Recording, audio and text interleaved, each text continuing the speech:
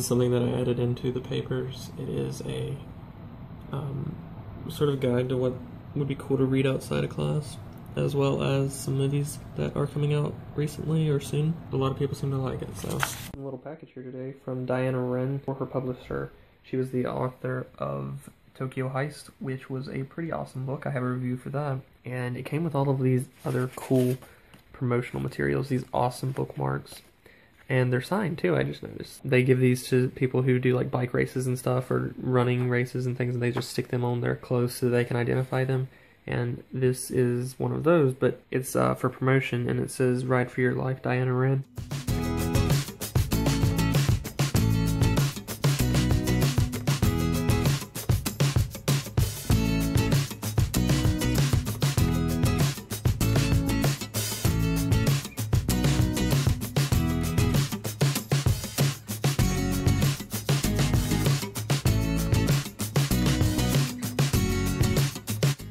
How'd you like your KFC?